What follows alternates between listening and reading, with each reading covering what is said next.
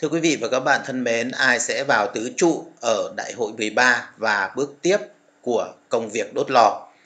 Đâu là ưu thế và hạn chế của ba ứng viên tiềm năng của chức vụ cao nhất tại Đại hội 13 sắp tới của Đảng Cộng sản Việt Nam và với lãnh đạo mới chiến dịch đốt lò sẽ như thế nào? Có còn tiếp tục hay sẽ bị bỏ ngỏ? Đại hội 13 của Đảng Cộng sản Việt Nam sẽ quyết định nhân sự chủ chốt để thay đổi tam trụ này và cũng là của chính quyền Việt Nam trong nhiệm kỳ mới. Nhóm truyền thống là tứ trụ liên hệ đến bốn chức danh chủ chốt của Đảng Cộng sản và nhà nước Việt Nam là Tổng Bí thư, Chủ tịch nước, Thủ tướng, Chính phủ và Chủ tịch Quốc hội. Tuy nhiên vừa qua do ông Trần Đại Quang chết đột ngột một cách bí ẩn khi nhiễm virus lạ nên rút xuống còn tam trụ. Trong hệ thống chính trị do Đảng Cộng sản lãnh đạo ở Việt Nam và cũng theo điều 4 hiến pháp thì đảng lãnh đạo nên quan trọng nhất vẫn là chức danh tổng bí thư của đảng sẽ do ai giành được. Vì Đảng Cộng sản Việt Nam không dám công khai vận động bầu cử và tranh luận trên truyền hình trực tiếp giữa các đối thủ, mọi việc đều được sắp đặt trong bóng tối, điều đó dẫn đến nhiều đồn đoán về tứ trụ trong kỳ đại hội tới có thể là những ai. Tiến sĩ Nguyễn Hồng Hải, nghiên cứu viên Trung tâm Tương lai Chính sách khoa Nhân văn Xã hội học Đại học Queensland, Úc cho rằng hiện có ba ứng cử viên nổi lên cho vị trí Tổng Bí thư và Thủ tướng Chính phủ. Đó là Nguyễn Xuân Phúc, Chủ tịch Quốc hội Nguyễn Thị Kim Ngân và Thường trực Ban Bí thư Trần Quốc Vượng. Tuy nhiên, theo tiến sĩ Hải, câu hỏi lớn nhất mang tính quyết định đến việc lựa chọn là liệu Đảng Cộng sản có tiếp tục theo đuổi việc hợp nhất chức danh Tổng Bí thư kiêm Chủ tịch nước như hiện tại hay quay về, quay về với mô hình tứ trụ truyền thống từ trước đến nay. Tiến sĩ Hải cũng lưu ý việc dùng từ hợp nhất chưa hẳn là chính xác mà chỉ tiện cho cách diễn giải cho cấu trúc quyền lực phức tạp ở hệ thống chính trị Việt Nam và Trung Quốc. Bởi lẽ điều lệ Đảng Cộng sản Việt Nam và Hiến pháp Việt Nam vẫn có quy định riêng cho chức danh Tổng Bí thư và Chủ tịch nước nên dù một người đảm nhận hai chức vụ thì đây vẫn là hai chức vụ riêng rẽ trong hệ thống chính trị Việt Nam. Một số gương mặt mang được đưa ra, họ có thể là những người đang được chú ý tại thời điểm này, nhưng sát đại hội đảng vẫn còn có thể bị gạt vì bị đối thủ chính trị trong đảng tung đòn sát nút thí dụ như nhân vật trong thời đại hội 12 nếu quay lại với mô hình truyền thống nghĩa là bốn vị trí tứ trụ do bốn ủy viên Bộ Chính trị khác nhau đảm nhiệm thì ông Trần Quốc Vượng có nhiều lợi thế để trở thành Tổng Bí thư bởi ông là người hiện ở vị trí quyền lực thứ tư trong đảng. Sau khi ông Trọng đảm nhận luôn hai chức vụ Chủ tịch nước kiêm Chủ tịch nước và Tổng Bí thư tháng 8 năm 2018, ông cũng từng đảm nhiệm vị trí phù hợp với chức danh lãnh đạo ở vị trí này, quy định về tuổi tác cũng như có thể được áp dụng với trường hợp ngoại lệ. Một mô hình tứ trụ truyền thống khi đó cũng sẽ có mở ra lựa chọn khác như trưởng ban tổ chức Trung ương Phạm Minh Chính, Bộ trưởng Quốc phòng Ngô Xuân Lịch hay thậm chí Phó Chủ tịch Quốc hội Tòng Thị Phóng. Trong khi đó nếu tiếp tục giữ mô hình Tổng Bí thư kiêm Chủ tịch nước như hiện nay, đương kim Thủ tướng Nguyễn Xuân Phúc sẽ có nhiều lợi thế hơn Tuy nhiên, Thủ tướng Nguyễn Xuân Phúc có nhược điểm lớn là bốc đồng, ăn nói, thiếu chiều sâu và không biết ngoại ngữ. Đảng Cộng sản Việt Nam thường bắt chước mô hình của Trung Quốc, việc gộp Tổng Bí thư và Chủ tịch nước hiện nay cũng như vậy. Tiến sĩ Nguyễn Hồng Hải cũng cho rằng dấu hiện này tại hiện tại đang đặt ra vấn đề về việc kiểm soát quyền lực nhưng xét về các yếu tố về sự ủng hộ trong đảng thì mô hình kiêm nhiệm hai chức danh này có phần được ủng hộ nhiều hơn. Ông Hải cũng lưu ý rằng vấn đề một người vừa nắm chức Tổng Bí thư vừa làm Chủ tịch nước đã được đặt ra từ Đại hội Đảng Toàn quốc lần thứ 8 và lần thứ 9. Tuy nhiên, khi đó chưa hội đủ điều kiện về thiên thời địa lợi nhân hòa như lần này. Theo tiến sĩ Hải, tuy nhiên việc hợp nhất không chỉ đòi hỏi người đảm nhận chức vụ đó về cả uy tín lẫn năng lực, thì bộ máy giúp việc cũng phải rất rạch ròi đòi hỏi sự phối hợp rất nhuần nhuyễn trong cái bộ máy này để chức trách của mỗi chức vụ khác nhau tránh không bị nhầm lẫn về chức năng và cách điều hành của từng vị trí. Với các lãnh đạo Đảng Cộng sản hiện nay, ông Nguyễn Xuân Phúc có lẽ là một ứng viên nặng ký, tiếp tục tham gia cuộc chia chác quyền lực tứ trụ cho lần tới nếu ông biết tự điều các điều điều chỉnh các khiếm khuyết của mình. Ví dụ như nói nhiều và không biết ngoại ngữ và có những phát ngôn rất là lạc đề. Tiến sĩ Nguyễn Hồng Hải cho rằng xét về lợi thế và cách thức thể hiện năng lực điều hành, xử lý vấn đề, ông Nguyễn Xuân Phúc là ứng viên sáng giá hiện nay. Theo tiến sĩ Hải, thành tựu kinh tế của Việt Nam trong nhiệm kỳ hiện nay, đặc biệt là trong năm 2019 vừa qua, cũng như sự thể hiện của ông Phúc qua vừa qua trong các hoạt động đối ngoại thời gian qua cho thấy điều đó. Hơn nữa, kể từ khi ông Nguyễn Phú Trọng bị lâm bệnh ở xứ Kiên Giang đến nay, ông Phúc đã đứng ra gần như điều hành, chỉ đạo ở những vai trò thuộc các lĩnh vực như quốc phòng, công an vốn do Tổng Bí thư đảm trách. Theo tiến sĩ Nguyễn Hồng Hải, với tất cả các kinh nghiệm như thế cũng như với việc sang năm ông Phúc ở tuổi 67, độ tuổi không phải là quá cao, đồng thời bằng quan sát cũng cho thấy ông Phúc đủ điều kiện về sức khỏe để đảm trách được công việc của một Tổng Bí thư kiêm Chủ tịch nước. Một công chức ăn lương nhà nước từng bị tiết lộ có tới 300 bộ áo dài được thiết kế và may riêng cho mình cũng đang tham gia cuộc tranh giành quyền lực chính trị tại Ba Đình. Đó là Chủ tịch Quốc hội Nguyễn Thị Kim Ngân. Tiến sĩ Nguyễn Hồng Hải cho rằng bà Ngân sẽ phù hợp với vị trí thủ tướng bởi bà có kinh nghiệm điều hành Quốc hội. Bà cũng từng là thành viên chính phủ phụ trách lĩnh vực lao động, thương binh và xã hội hay Thứ trưởng Bộ Tài chính cũng như từng kinh qua kinh nghiệm từ cơ sở. Tuy nhiên, bà Nguyễn Thị Kim Ngân cũng không giành được sự ủng hộ hoàn toàn vì vẫn có ý kiến cho rằng bà chưa đủ tầm để làm thủ tướng. Một ứng cử viên khác cho vị trí này thay cho bà Nguyễn Thị Kim Ngân là Phó Thủ tướng Vương Đình Huệ, người đang phụ trách mạng kinh tế của chính phủ. Ông Trần Quốc Vượng sẽ có lợi thế để trở thành Tổng Bí thư nếu Đảng quay lại với mô hình tứ trụ truyền thống. Tuy nhiên, ông lại chưa thể hiện nhiều ở các lĩnh vực đối ngoại hay điều hành về kinh tế, nên nếu chọn mô hình Tổng Bí thư kiêm Chủ tịch nước như hiện nay thì ứng viên số 1 vẫn là ông Nguyễn Xuân Phúc. Ông Nguyễn Thiện Nhân, người ít ồn ào hơn các chính trị gia của Đảng Cộng sản sẽ như thế nào trong cuộc đua này? Nếu quay lại với mô hình tứ trụ sẽ có thêm một ủy viên Bộ Chính trị đảm nhận một số trong bốn vị trí này. Khi đó, những ứng cử viên thích hợp có thể là ông Phạm Minh Chính, trưởng ban tổ chức Trung ương, bà Tòng Thị Phóng, Phó Chủ tịch Quốc hội hoặc ông Nguyễn Thiện Nhân, Bí thư Thành ủy Thành phố Hồ Chí Minh. Khi được hỏi về dự đoán trước đây của một số nhà quan sát liên quan đến khả năng ông Nguyễn Thiện Nhân trở thành thủ tướng, tiến sĩ Nguyễn Hồng Hải cho rằng điều này rất khó. Ông nói sẽ ít người ủng hộ việc ông Nguyễn Thiên Nhân trở thành thủ tướng bởi nhìn vào thành tích của ông khi còn là phó thủ tướng. Bộ trưởng Bộ Giáo dục và Đào tạo rồi Chủ tịch Ủy ban Mặt trận Tổ quốc Việt Nam hay ngay cả khi ông vào thành phố Hồ Chí Minh đảm nhiệm chức bí thư thành ủy thì chúng ta thấy ông là người ôn hòa, không quyết liệt. Vị trí thủ tướng hiếm khi được chọn từ những trường hợp đặc biệt về tuổi. Trong khi sang năm 2021 ông Nhân đã ở tuổi 68 nên nếu không đảm nhận chức vụ trong đảng thì sẽ rất khó vượt qua quy định về giới hạn độ tuổi. Về danh sách những người sẽ tham gia Bộ Chính trị khóa tới, theo tiến sĩ Hải, hầu như cũng đã được chốt bởi trong tổng số 15 ủy viên Bộ Chính trị hiện có, 7 người sẽ tại vị. Đồng thời đội ngũ tham gia Bộ Chính trị khóa 13 nếu hiện nay họ đang là thành viên ban bí thư sẽ dễ dàng hơn. Như các ông Trần Cẩm Tú, Nguyễn Văn Nên, Phan Đình Trạc, Nguyễn Hòa Bình, Nguyễn Xuân Thắng và Lương Cương. Tất cả những vị đó đều có thể vào ủy viên Bộ Chính trị được. Như vậy ít nhiều có thể thấy danh sách Bộ Chính trị khóa mới không có nhiều biến động. Một đất nước với gần 100 triệu dân đã không thể phát triển được vì bị Đảng Cộng sản áp dụng thể chế độc tài, phi nhân tính để cai trị người dân suốt 75 năm qua.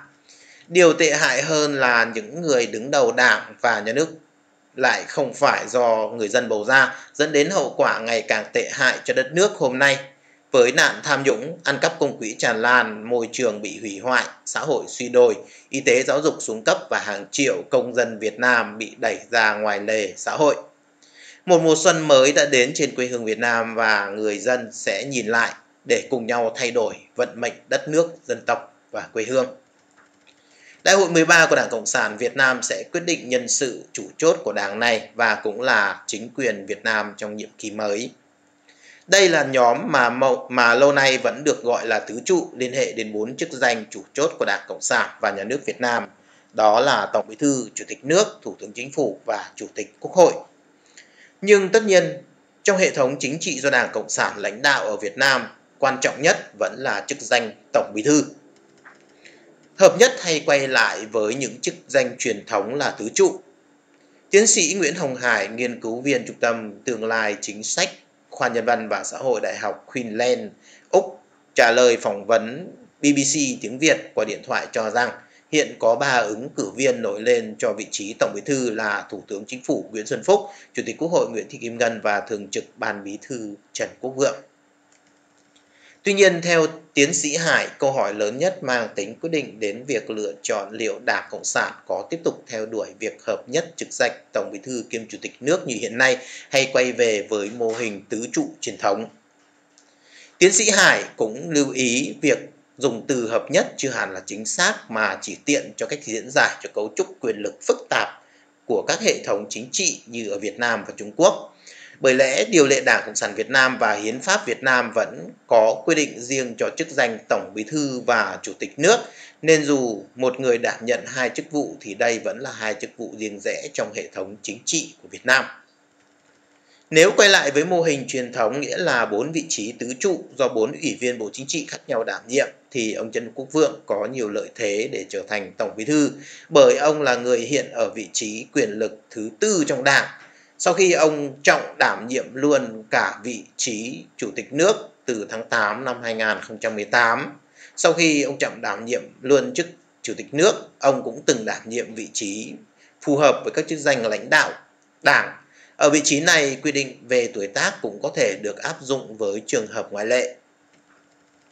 Một mô hình tứ trụ truyền thống khi đó cũng sẽ mở ra lựa chọn khác như trưởng ban tổ chức trung ương Phạm Minh Chính, Bộ trưởng Quốc phòng Ngô Xuân Lịch hay thậm chí Phó Chủ tịch Quốc hội Tòng Thị Phóng.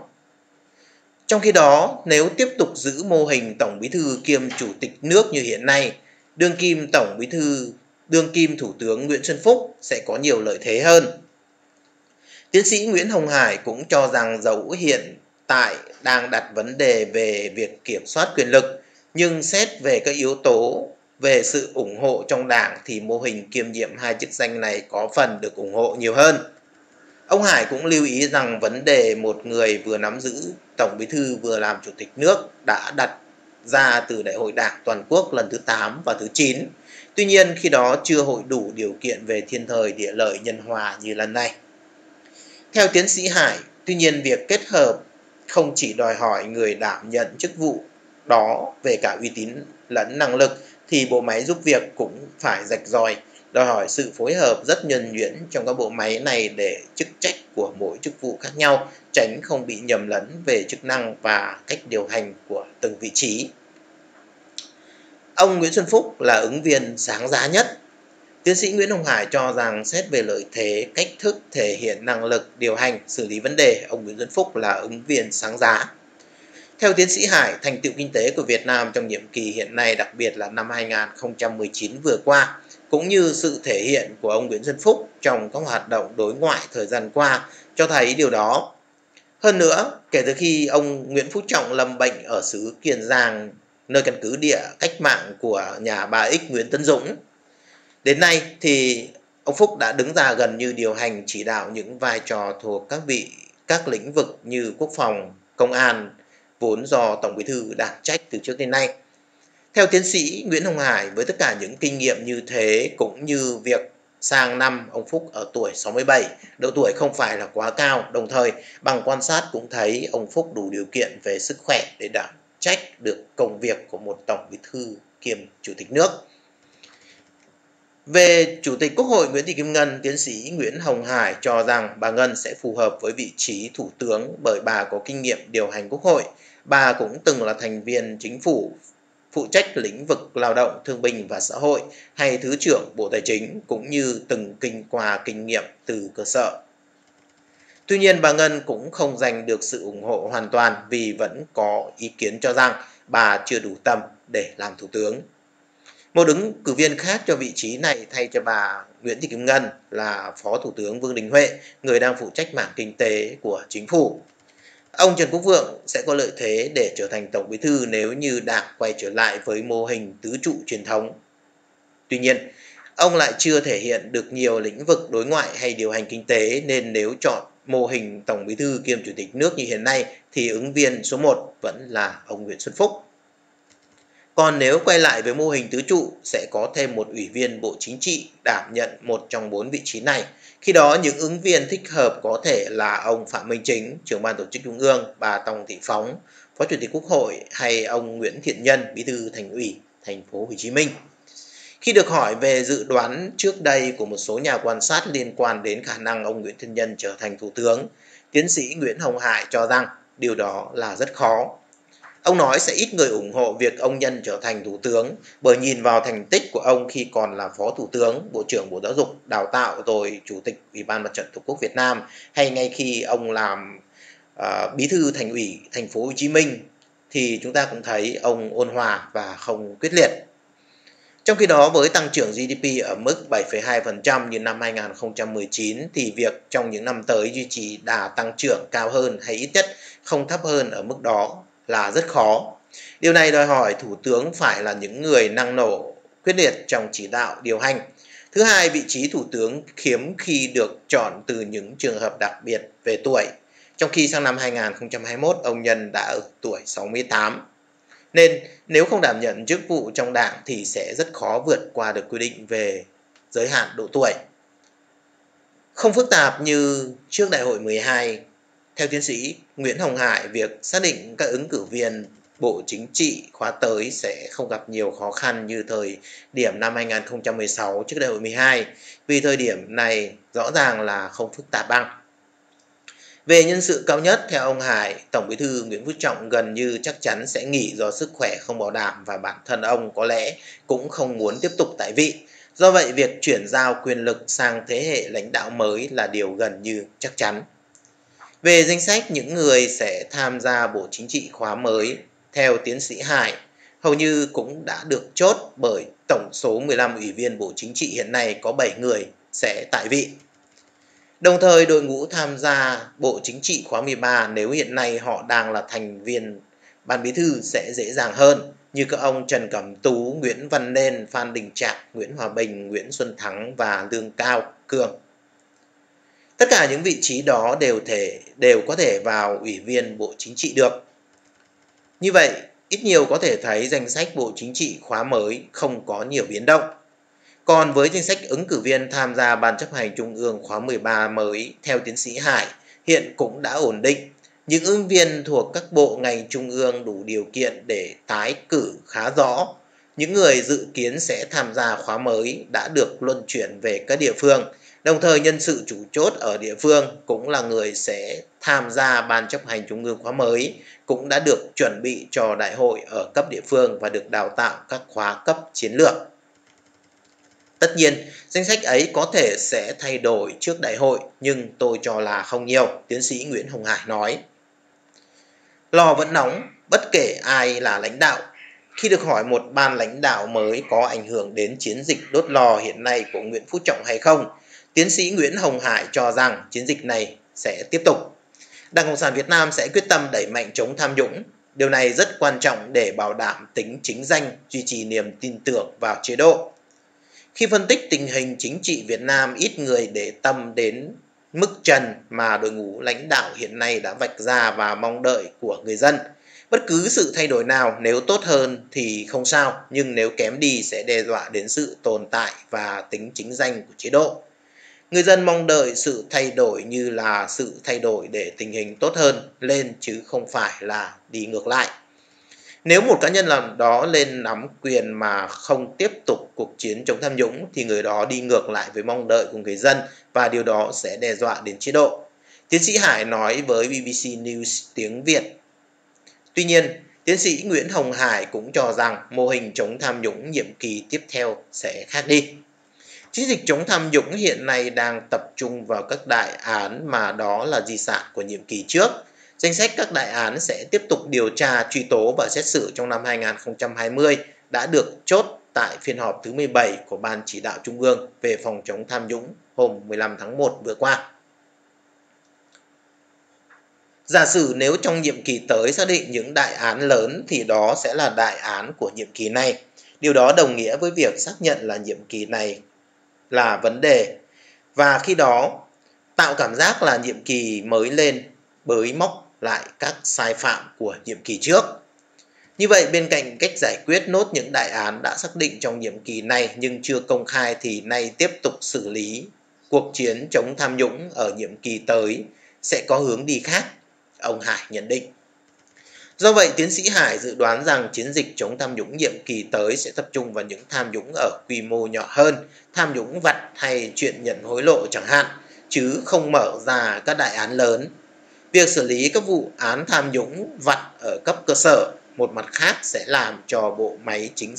quyền sở cơ sở và củng cố niềm tin của người dân. Mặt khác sẽ tránh được sự chú ý hệ thống quyền lực ở cấp cao hơn, tiến sĩ Hải nhận xét. Tình hình kinh tế chính trị Việt Nam trước và sau đại hội 13 sẽ như thế nào? Nói về doanh nghiệp nếu được ưu đãi về tài chính thì đó là một thế mạnh khó ai địch nổi. Có nhiều doanh nghiệp, nhiều nhóm khởi nghiệp có ý tưởng tốt nhưng chỉ vì thiếu nguồn tài chính mà những ý tưởng ấy phải lụi tàn. Nếu nói về ý tưởng là mầm non thì tài chính là nước tưới. Dù cho hạt giống tốt, dù cho mầm khỏe và gặp cảnh hạn hán thì chỉ có chết khô. Như vậy để vực dậy nền kinh tế đất nước, bộ máy nhà nước cần biết đâu là mầm tốt và chính sách tưới nước đúng cách thì vô số tốt chồi non sẽ nảy mầm và lớn mạnh. Nói cụ thể là xác định dự án khả thi và ưu đãi tín dụng đúng đối tượng thì kinh tế Việt Nam sẽ khác. Ở Việt Nam, ngành ngân hàng là sân chơi cho các doanh nghiệp nhà nước hoặc các doanh nghiệp sân sau. Cho nên chuyện cho vay của họ cũng phức tạp lắm và đủ thứ quan hệ ma quỷ trước đó. Họ đi đêm với nhau để ký những khoản vay dễ dãi. Thường thì sân sau hiểu nhau, ngân hàng biết doanh nghiệp đó là của đại thần này, của tể tướng kia thì họ an tâm cho vay. Thực tế những ngân hàng này cho vay dựa vào thế lực doanh nghiệp chứ không dựa vào năng lực nên họ rất dễ giải cho doanh nghiệp sân sau. Còn các doanh nghiệp nhà nước thì có sự bảo kê của nhà nước nên ngay trong chính sách đã có những ưu đãi đặc biệt. Mà trong số những doanh nghiệp này có khá nhiều các loại doanh nghiệp yếu kém. Nếu doanh nghiệp tỷ đô mà yếu kém thì những khoản vay của nó trở thành khoản nợ khó thu hồi. Chính vì thế, nhiều ngân hàng thương mại rơi vào cảnh mất khả năng thanh toán do nợ xấu quá nhiều và đứng trước nguy cơ phá sản. Khi đó, ngân hàng nhà nước ra tay hốt về xử lý khối nợ xấu ấy. Nói cho cùng, để xử lý khối nợ xấu một cách ổn thỏa thì chỉ có in tiền đắp vào mà thôi. Thế thì khác nào móc túi toàn dân để xử lý khối nợ đó. Sự phân bổ tài chính ưu ái một cách đặc biệt những doanh nghiệp nhà nước và doanh nghiệp sân sau và sự thắt chặt tài chính với các doanh nghiệp tư nhân làm ăn chân chính. Điều đó chẳng khác nào cầm cây thuốc bị thiếu nước phải chết héo hoặc tồn tại một cách còi cọc. Còn mầm cây độc lại được chăm bón thật kỹ không? Một đất nước mà có ích bị hạn chế và phá hoại được khuyến khích thì phát triển kinh tế như thế nào được. Ở doanh nghiệp tư nhân ngoài nhóm thân hữu, rất nhiều trong họ bị đói vốn, cậy không ra mà phải để ý và phải để ý tưởng chết yểu. Trong khi đó khối doanh nghiệp quốc doanh được ưu đãi về tài chính thì mang tiền đi đầu tư một cách ngu ngốc để rồi cuối cùng hàng loạt gói vay đó không thể nào thu hồi, kéo theo nền kinh tế phải gánh nợ cho một hệ thống kinh tế nhà nước khối doanh nghiệp thân hữu chỉ chuyên phá hoại. Làm ăn thua lỗ thì có nhà nước cứu, điều đó là tạo nên một tâm thế ỉ lại của cả một bộ máy kinh doanh. Các chuyên gia nước ngoài gọi đó là zombie worker, nghĩa là con người làm việc trong những doanh nghiệp này như những cái xác vô hồn biết đi. Và tất nhiên những doanh nghiệp loại này thì tính sáng tạo gần như là zero. Những doanh nghiệp to xác ngốn vốn lớn nhưng lại không làm ra lãi mà lại làm ra nợ. Tiền ngân sách nói cho cùng là tiền của dân. Trong hệ thống chính trị độc tài cộng sản, mỗi một lãnh đạo đều mang cho mình sứ mệnh làm chính sách cho nhóm sân sau Thực tế là những doanh nghiệp nhà nước và doanh nghiệp sân sau dù lớn đến đâu cũng chỉ là những con đại bàng non háu đói, cứ hà mỏ la làng chờ đại bàng bố mẹ đi gắp mồi về mớm. Mồi của những con đại bàng non này là những gì? Đó là những cơ chế, những chính sách đánh vào quyền lợi của nhân dân và những doanh nghiệp chân chính. Và hiện nay doanh nghiệp sân so mọc lên như nấm, tranh thủ khai thác lợi thế và càng về sau, thứ doanh nghiệp này càng hoành hành, càng kinh khủng hơn. Với một đất nước mà hiện trạng này không hề cải thiện thì đất nước này không thể ngóc đầu lên nổi chứ đừng nói gì đến cất cánh. Còn chừng 11 tháng nữa thì đến đại hội 13 ai cũng chạy đua giành giật ghế cho mình nên Bộ Chính trị Trung ương Đảng đang giáo giết tố nhau để giật đối thủ xuống nâng cánh hậu của mình lên tạo thành một chính trường đấu đá bát nháo. Mồm mấy ông lãnh đạo cấp cao đầu óc thủ cựu thì vẫn cứ bảo lưu mô hình kinh tế như cũ nhưng họp hành thì lại lập ra mục tiêu rất kêu và rất hoang tưởng nào là vượt Singapore, nào là tạo đà cho đất nước cất cánh, nào là vân vân và mây mây. Sau đại hội 13 dàn lãnh đạo mới sẽ lên, nhưng đất nước sẽ lún sâu vào khủng hoảng và nhân dân sẽ là kẻ chịu mọi thiệt thòi do hậu quả lãnh đạo đất nước kém hiệu quả của Đảng Cộng sản mang lại. Dân phải gánh chịu khủng hoảng đất nước như thế nào, còn quan chức thì sao? Đất nước nghèo, dân cực khổ. Nhưng chắc chắn một điều rằng, quan chức vẫn giàu, có và sống phè phỡn. Việt Nam dưới thời của Cộng sản chẳng rồng chẳng chim gì cả mà chỉ là con run đất mà con run đất thì lấy đâu ra cánh để mà cất cánh thực tế vậy, Đảng Cộng sản Việt Nam lãnh đạo chỉ đến thế mà thôi, không cất cánh nổi đâu Xin chân thành cảm ơn thời gian theo dõi của quý vị và các bạn đã dành cho chương trình của chúng tôi đến phút cuối. Hãy để lại những lời bình luận góp ý để giúp cho chúng tôi thực hiện các chương trình kế tiếp một cách tốt hơn. Hãy bấm vào nút chia sẻ để thông tin được lan tỏa đến với nhiều người hơn. Hãy bấm vào nút đăng ký để trở thành thành viên tích cực của kênh. Hãy bấm vào hình quả chuông bên cạnh nút đăng ký để nhận được những thông báo nhanh nhất, sớm nhất về các chương trình của chúng tôi sắp phát hành. Xin chân thành cảm ơn và hẹn gặp lại quý vị và các bạn trong các chương trình kế tiếp của chúng tôi.